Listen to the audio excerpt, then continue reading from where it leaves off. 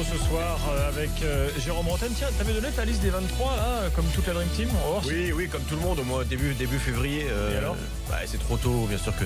Je sais, je sais pas, j'ai pas, j'ai pas regardé, je me souviens même Le plus meilleur, c'est Christophe Dugarry. C'est vrai 83% de. Ah, vous avez les résultats donc vous, ouais. avez, vous avez fait les résultats De quoi de Bah, liste le- J'ai le meilleur. J'ai le voilà. C'est c'est Ah, Christophe que le qui est meilleur. le Ah, plus vaut- vaut proche. peut-être mieux, remarque que t'es que C'est le quoi de meilleur. la liste Oui. Oh, moi, Chacun moi, je me souviens l'avoir fait, mais alors vraiment On va, on va regarder. en touriste total. Je on va me regarder souviens même plus de euh, ce que j'avais à mis. combien vous étiez.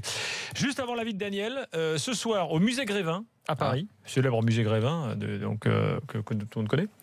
Euh, Kylian Mbappé est venu pour euh, inaugurer sa son sa Déjà, poupée, il a sa, sa poupée de statue. cire. sa, sa statue, on dit statue. Je sais Ouais, pas. une poupée de cire, non Ou une- Écoutez ce qu'il a pensé de des 23. Ouais.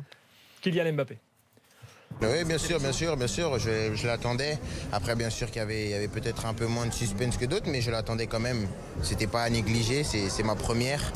Et je suis vraiment fier et j'espère qu'on va pouvoir tout donner ensemble. Non, c'est pas un aboutissement, c'est un rêve qui se réalise. C'est c'est vraiment un rêve d'enfant qui se réalise. L'aboutissement, je pense que ce serait de gagner. Parce qu'un aboutissement, il n'y a rien après. Donc, euh, non, non, non, c'est vraiment un rêve qui, qui se réalise. Je suis, je suis très fier. Voilà, bah, il était moyen de Il est à l'aise au niveau boulard, Mbappé. Ouais. Il est très, très Je à l'aise pensais avec qu'il ça. parlait de la, de la poupée de. Non, non. La statue. je trouve de plus en plus Ouais, à la l'aise statue avec du son boulard. euh, Mais j'ai vraiment, euh, celle de Mbappé réussie, hein, parce que celle Ouais, d'Emmanuel. Macron est totalement ratée. Ouais, non, franchement, elle est belle, ouais, c'est vrai. Ouais. Excuse-moi, ça fait. Je suis pas allé au musée Gravin depuis que j'ai 10 ans, donc. euh, Non, mais moi, moi non il plus, mais je l'ai vu, on l'a Ah, vu, euh, celle de- d'Emmanuel Macron, elle, qui a été euh, voilà, inaugurée. Euh, alors, avis de Daniel Riolo, messieurs, dames, attention, jingle, Daniel. Vas-y, vas-y, de la gueule de Riolo Bah attends, pourquoi tu te lances dans des trucs chelous là? C'est quoi ce jingle nul Je sais pas d'où ça Il y en vient. a mis il est bien, celui-là il est nul. Nul selon toi, nous on aime bien. Euh, Ah, alors, J'aimerais bien savoir de quoi ça parle surtout. ton avis, Ouais, c'est quoi Vraiment petit avis, hein, parce que comme j'avais dit mardi que. Ça te gave la liste. La liste, c'est pas quelque chose qui m'emballe. En, en fait, la ligue, ça- la liste, pardon, la ligue, ça me fait rire de de- de- d'alimenter certaines petites polémiques comme ça. Je prends ça vraiment très second degré, quoi. Euh, néanmoins, euh, puisqu'il faut avoir quand même un avis sur sur la liste, plutôt que de m'arrêter sur des cas particuliers, euh, j'avais plus envie de regarder l'ensemble et à travers cet ensemble de voir un peu quel genre de, de foot on risque de, de jouer malgré tout, avec euh, peut-être euh, la disparition de, postes qui sont un peu classiques dans le foot, en tout cas en ce qui concerne euh, la tradition de notre foot, où on a toujours eu euh, des 10, des 9. Euh, là, bah, là, il n'y en a pas. Alors on me dira, si, il y a Fekir comme 10. Oui, c'est vrai qu'a priori c'est lui, mais il est bien isolé. Et on sait tous d'abord que pour beaucoup, beaucoup pensaient qu'il ne serait même pas dans la liste. Donc il y est. Moi j'aime bien parce que c'est vrai que dans ce profil on n'en a pas d'autres. Euh, il part pas pour être titulaire, il est donc bien isolé. Et c'est un peu le, le seul joueur qu'on a finalement dans ce profil, le profil 10 euh, que les amoureux de foot aiment plutôt. Quoi. Et puis après, l'autre, bah, c'est le 9. Euh, le 9, donc, euh, clairement, là, on n'en a qu'un seul vrai, Ouais, de métier, ouais. c'est Giroud. Mbappé, moi, j'ai toujours entendu dire que son destin était d'être neuf. Je ne sais pas. Je pense qu'avant d'être euh, neuf, il faudra qu'il travaille encore pas mal parce que euh, on a vu quand il a joué au PSG neuf cette année, Qui avait... il m'a Ouais. pas semblé être totalement euh, excellent et très à l'aise à, à- à- à ce poste-là. Alors après, c'est pas évident, Je je, suis pense, pas quand totalement il, quand- quand convaincu. il joue une fois tous les, tous les 8 matchs, tu vois, c'est pas évident de prendre des En tout repères, cas, il effectivement. semble pas prêt. Donc peut-être qu'il le sera un jour, mais pas vraiment pour l'instant. Donc tu pars avec un 9 qui est pas en plus un, un crack absolu, hein, euh, parce que c'est toujours. Qui euh, marque? Qui oui, marque en non, équipe en de équipe France de France, il déçoit Bon. pas. Mais c'est, on a toujours considéré, même si euh, euh, je lui reconnais euh, beaucoup de qualités, et comme tu dis, en équipe de France, il n'est pas décevant, mais on a toujours le sentiment que c'est un peu un neuf par défaut. Chez les Bleus, Giroud, il mérite d'être là. Lui, pour le coup, sa place, elle était assurée, on savait. Mais voilà, quoi.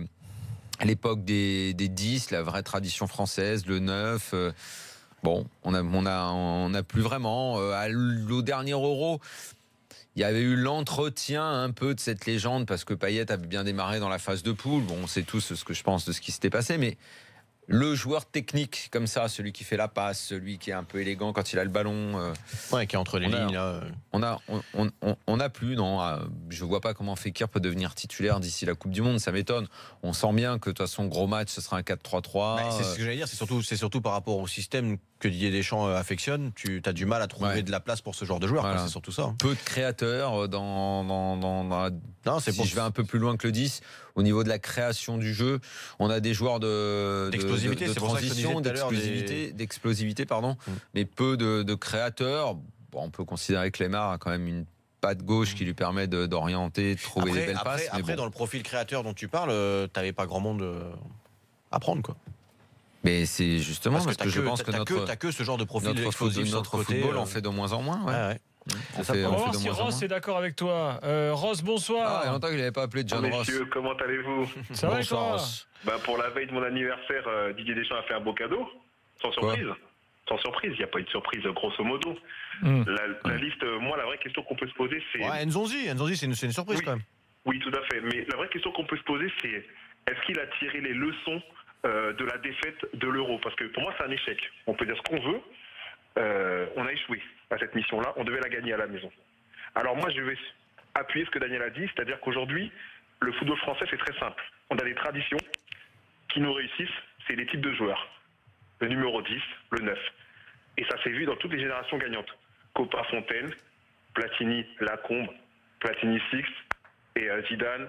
euh, bon, il y avait Thierry Henry quand Six même. n'a jamais avait été neuf. Hein. euh, Rocheteau, si tu veux, mais Six n'a Oui, jamais été neuf. Effectivement, effectivement, Hmm. effectivement. Mais on a eu toujours, comme tu dis, on a toujours eu cette tradition-là. Aujourd'hui, c'est vrai que on. Ouais, euh, Zidane en disparition. 98. Six, Oui, il mais- était 6 de toute façon. Ouais, mais à l'époque, à l'époque, c'était le meilleur buteur. Il plantait but sur but. On Ouais, savait ouais, pas non, qu'il allait c'est faire une vrai, Coupe vrai, Hmm. une Coupe du Monde foireuse, malheureusement pour lui. Mais il a gagné. À la fin, on a gagné quand même. Mais là, moi, j'ai j'ai une crainte, c'est qu'on n'aura pas de surprise. Fekir, c'est vrai que c'est peut-être le joueur qui a le profil d'être 10, mais on va pas se mentir. Il va sûrement jouer le match de coiffeur, ou si on doit faire bouger euh, des matchs, il va peut-être rentrer pour 20, 10, minutes, 10 à 20 minutes à la fin. On connaît des champs, il ne prend pas de risque. Ça va être du costaud, du solide. Et malheureusement, euh, à l'euro, on n'a pas Bah, pris C'est pour ça qu'il a rappelé euh, très logiquement Sissoko, hein, normal. Tout à fait. Son Sans liste de réserve. Ça, c'est fort, ça. Comment ça en réserve Il est pas dans les on a 23, Sissoko? Non, il est réserviste. Mais mais- Mais. Mais non, c'est vrai. Des mecs comme Sissoko est dans les réservistes, bien sûr. Sissoko, il est dans les 23. qu'est-ce que vous Non, non, racontez dans les suppléants. Non, réserviste, réserviste. Mais un mec comme Kondogbia, Ah, Kondogbia, je le voyais, je, je le voyais faire une surprise. Il a fait une saison extraordinaire à Valence. C'est vrai, ça c'est vrai. Extraordinaire. Mais euh, après, il faut avoir Ah, mais l'analyse, qui, aller qui les t'enlève. Ouais, mais qui t'enlève, c'est ça le problème. Après. Bah, C'était peut-être lui, lui ou Nzonzi, un des deux. Ouais, voilà, ouais, il en fallait un des deux, effectivement. Mais bon, Bon, on verra bien. Allez les bleus, on verra bien, mais je suis sceptique. Je reste sceptique. Il y a plus fort que nous. On va pas être, lu- on, on va être lucide. Et Deschamps n'est pas, je le répète encore une fois, c'est pas un tacticien. Un tacticien, c'est quelqu'un qui prend des risques, qui sait surprendre. Deschamps, il surprend pas. Euh, le, le- le 11 type, on le connaît.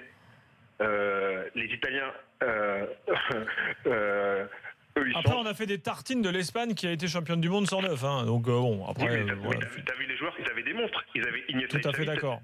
peut-être peut-être dans les 20 dernières années, euh, 5 des meilleurs joueurs de tous les temps en termes de milieu de terrain. Donc euh, c'est difficile aussi de contester cela. Maintenant, nous, on n'a pas ces joueurs-là. On a peut-être la, sta- la star mondiale qu'on a, c'est Griezmann. Bah, à part ça, euh, les autres, euh, ils, ils rasent les murs au vestiaire. hein. C'est des bons joueurs, mais c'est pas des joueurs extraordinaires. Ça va être difficile. Merci à toi, Ross. Merci Et- à vous, les gars. Bonne soirée. Et bonne Ciao. soirée. Euh, tiens, on accueille Laurent euh, qui lui aussi veut donner son, son point de vue. Laurent, euh, Laurent qui est bordelais. Salut Bonsoir, Laurent. messieurs. Ça va Laurent? Ça Salut, va, Laurent. Ça va impeccable. Tu es d'accord avec Daniel là sur son avis sur les, le- le- le- la, la perte de tradition des 10 et des 9 Daniel aime bien les traditions. Oui, mais c'est- surtout que je suis d'accord avec Daniel, mais c'est surtout que, bon, euh, au niveau- au- au-delà de la liste, je crois que Deschamps fait surtout avec ce qu'il a sous la main. Après, qu'il a- là où Oula, attends, on a un problème de liaison là, on t'entend pas très bien, ça, ça, coupe, euh, ça coupe à Bordeaux. Euh, bon, c'est Ah. comme ça. On va essayer de rétablir, euh, rétablir ça avec toi dans, dans quelques instants. Je voulais quelques réactions sur le hashtag RMC Live ce soir. Euh, comment classez-vous Griezmann alors nous dit euh, Jimbo? Euh, lui euh, a un vrai potentiel pour être un 10 Ah, mais c'est un attaquant, Griezmann, c'est pas un 10, c'est un attaquant. Ouais, Hier, euh, on l'a bien vu, l'Atlético. Il y avait, il y avait Coquet, il y avait Gabi. c'est euh, presque un électron libre, quoi. C'est Voilà, euh, c'est- c'est c'est- c'est- c'est pas le 10, effectivement, qui va rester dans l'axe pour faire un le attaquant libre, va- voilà, c'est ça. Il va forcément. euh, Tu vas a retrouvé Laurent. Laurent, t'es là? Oui, oui, je suis là. Ah, voilà, on t'entend parfaitement bien. On t'écoute. Oui, c'est, oui, ce que je disais, euh, j'entendais Daniel qui disait, bon, on connaît le système, on va jouer en 4-3-3. Alors, au-delà de la liste, c'est vrai, je pense que Deschamps, peu avec ce qu'il a, euh, je serais tenté de dire, sous la main. Moi, le problème qu'on a, effectivement, et je rejoins un petit peu l'auditeur, c'est que notre méga star, et pour laquelle on devrait jouer, c'est Griezmann. Et il me semble que Griezmann, il joue en 4-4-2, non À ce que je sache, pour le mettre dans les meilleures conditions. Or, si on le met en 4-4-2, ça veut dire qu'il va falloir jouer avec deux types sur les côtés. Ça serait qui? Mbappé avec Dembélé.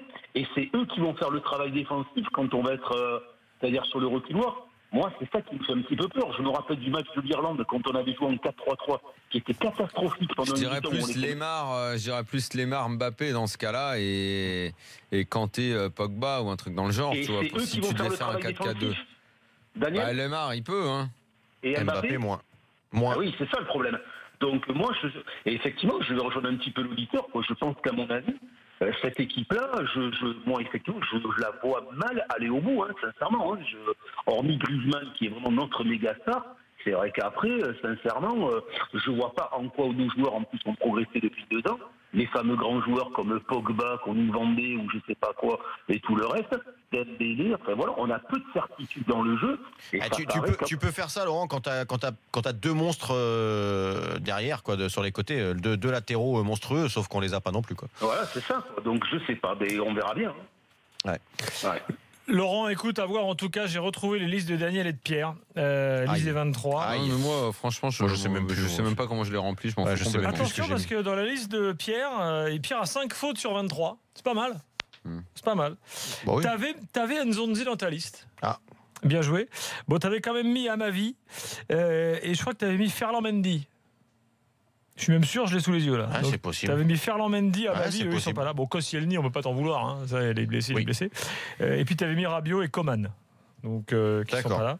Euh, quant à Daniel, il avait mis Amavi lui aussi. Da- Daniel, Daniel qui avait quand même du nez, puisqu'il n'a pas mis Koscielny. Il savait qu'il allait être Il blessé. savait qu'il allait être blessé. Très fort, Daniel. Euh, en revanche, j'avais mis Aguilar, donc euh, Oui, c'était quand même très drôle. euh, Donc Combien d'erreurs, euh, Daniel donc, 5 aussi. ouais, On est pas mal. À ma vie, 5 sur Aguilar, 23, c'est pas mal. Il a mis Sissoko, bien sûr, qui est son, son totem. Et, et puis tu avais mis Lacazette et Martial. Bon, ben euh, voilà. Ah oui, c'est vrai. 5 sur 23. 5 sur 23, je suis en train de chercher le pourcentage, j'arrive pas à faire le pourcentage comme ça de tête, mais Vous êtes pas mal. on n'est pas loin du gars. Dans quelques instants, on va parler d'expérience. Parce que peut-être qu'il en manque un peu dans cette équipe. On va en parler, ce sera mon avis. Euh, Le 32-16 est ouvert. Et puis n'oubliez pas que l'Allemagne et l'Italie sont au programme juste après 23h. C'est l'after jusqu'à minuit. Et puis inscrivez-vous pour le quiz. hein. Euh, un quiz du Cro Riolo, c'est pas tous les jours. Donc faut profiter. On va voir euh, si la forteresse Riolo peut être prise par l'assaillant du Cro. Ce sera tout à l'heure.